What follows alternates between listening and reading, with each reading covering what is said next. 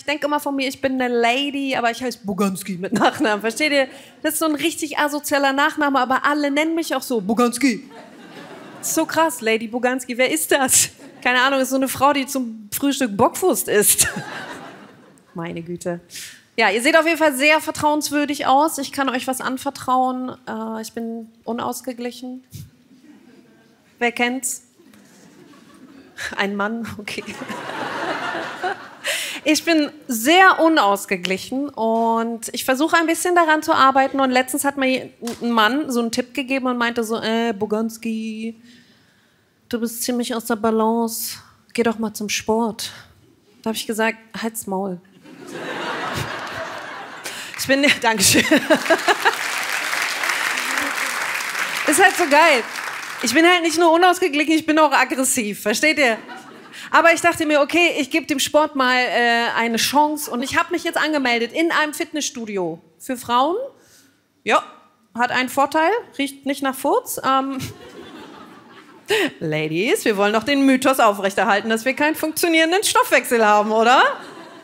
Es riecht nie nach Furz. Bei uns im Fitnessstudio riecht es nur nach Rosen und es ist mega schön eingerichtet. Überall hängen so Motivationssprüche an der Wand. Das holt mich persönlich total ab. Da ist so ein Plakat, da steht drauf: Be skinny, be curvy, be beautiful. Ich so, okay, ist schon mal eine krasse Ansage.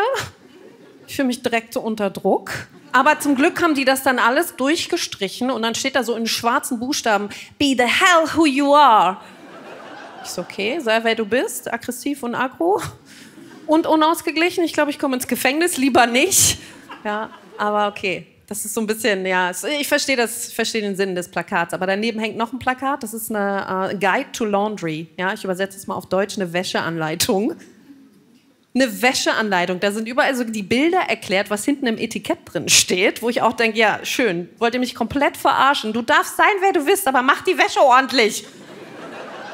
Was ist das denn? Richtig krass progressiv, meine Güte. Ich habe mal, ich habe dann so gedacht, ja, in meiner Vorstellung, ich habe mich extra in einem Frauenfitnessstudio angemeldet, nur Frauen, weil ich dachte in meinem Kopf, die Vorstellung, alles super, Stimmung ist mega, alle sind so supportive, ne, you go girl, wir motivieren uns alle gegenseitig, komme ich da an, in der Realität ist die Stimmung gar nicht mal so geil.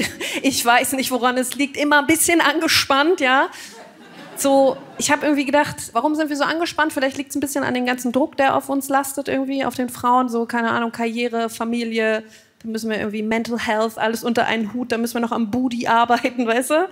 Und dann zum krönenden Abschluss ist Merkur auch noch rückläufig. It's a lot, okay? Und dann dachte ich, ich habe einen Vorschlag für die Stimmung, damit die besser wird. Wir könnten den Eintritt ins Fitnessstudio so verlinken mit der Perioden-App. Einige mit der PMS, paar mit der Periode, ganz viele mit Eisprung, weil da ist die Stimmung mega.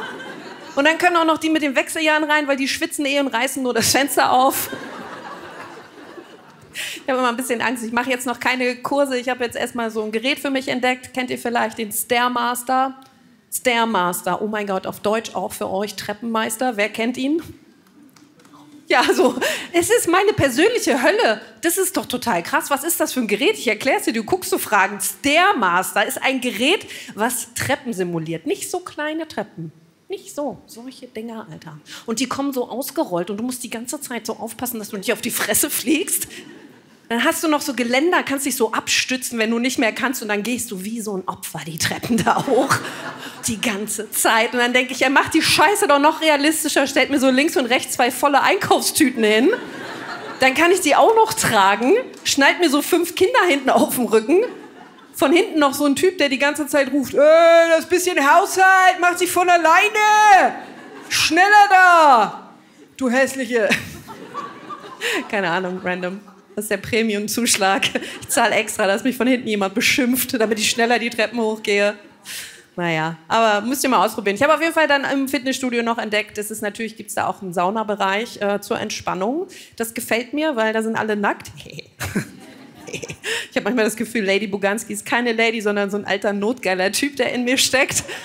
Also jetzt gerade nicht. Aber ich habe so Angst, dass ich manchmal in der Sauna so breitbeinig sitze und dann kommt so jemand so rein, so, geile Titten.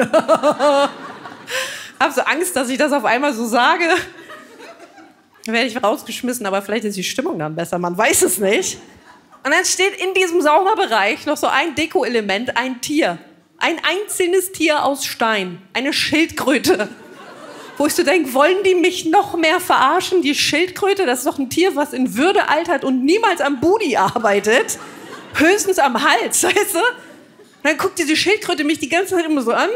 Und dann denke ich, fuck, Alter, die redet auch mit mir. Und dann sagt sie so, Boganski, es ist egal, wie lange du auf dem Stairmaster bist. Du wirst genau so alt und schrumpelig wie ich. Also genieß dein Leben. Sei wer du bist. Und mach die Wäsche ordentlich.